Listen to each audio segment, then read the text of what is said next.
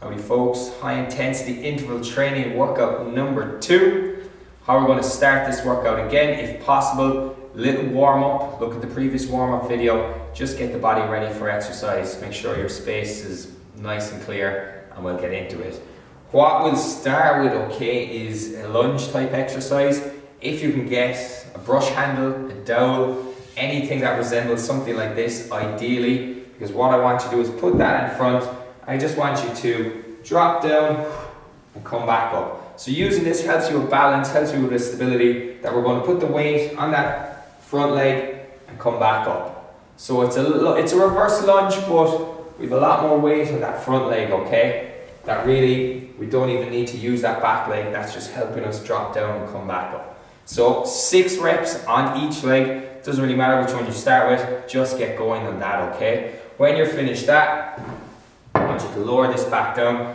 From there, I want you to drop into a kind of a hinge type exercise where we'll go hinge, but we'll stick one leg out behind us and we'll drop down. So what this is, is a single leg walkout. It's kind of a combination of two exercises, the walkout and the single leg hinge.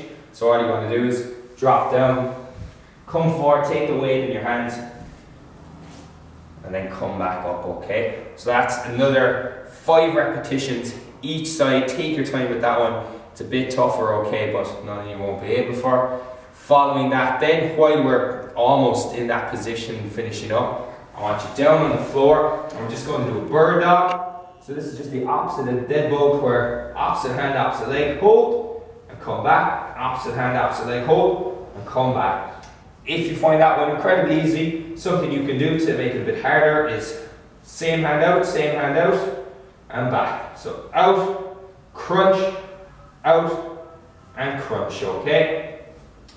Eight reps each side in that one, and that should be fine, okay? What's the next exercise that we're going to do? So, it's just some sort of a drop back. So what I want you to do is just lower yourself down into the squat, and I just want you to sit back down, okay? From there, I just want you to drop back. We'll bring our feet up into the air, put our hands out, and I want you to lower your legs down and come back. Now you're going to feel your back arch ever so slightly, but that's okay. I don't want you to go so far that you drop your legs down. I just want you to challenge your midsection. Lower your legs down, come back. Lower your legs down and come back, okay? Don't worry too much if you feel like you're not going too far, once you get a challenge on your midsection, that's okay, alright?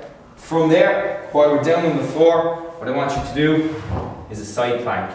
So a couple of variations, you can leave your legs over like that, and you can just bring yourself up, pause, lower yourself down, bring yourself up, pause, lower yourself down. If you find that very easy, you can put your legs on top of each other, hand on your side, drive up, and bring your leg up, okay? You can even bring your hand up as well and do your repetitions like that. So again, we're talking 10 reps each side if you're driving up, lower down, or for using that leg variation, okay?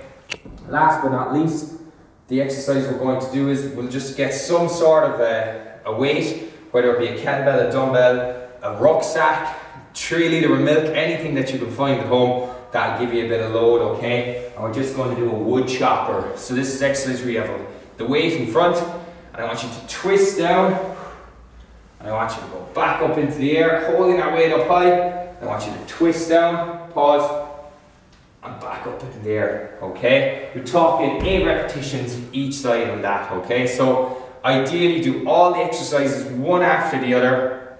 Last but not least, for your kind of finisher exercise, your kind of more high intensity one, simple exercise, kind of a burpee variation, just for you're going to drop down, legs backing up, and stand up. Nice and quick, no jumping or flying up into the air. Just drop down, legs back and quick.